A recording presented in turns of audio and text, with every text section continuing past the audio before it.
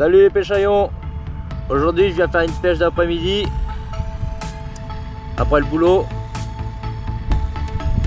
Je viens d'installer le matériel, il était 14h30 J'ai mis deux cannes à la flottante non amorcées Et deux cannes à la bille maison au thon amorcées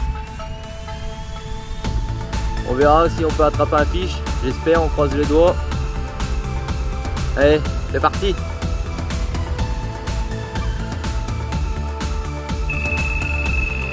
Départ en direct.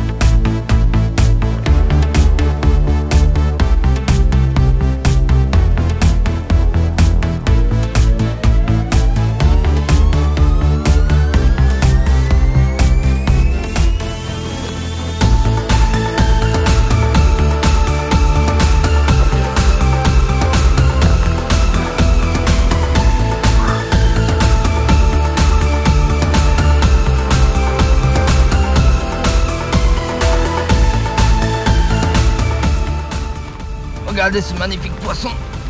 Ah magnifique. Très beau poisson. Oh putain. Yes yeah.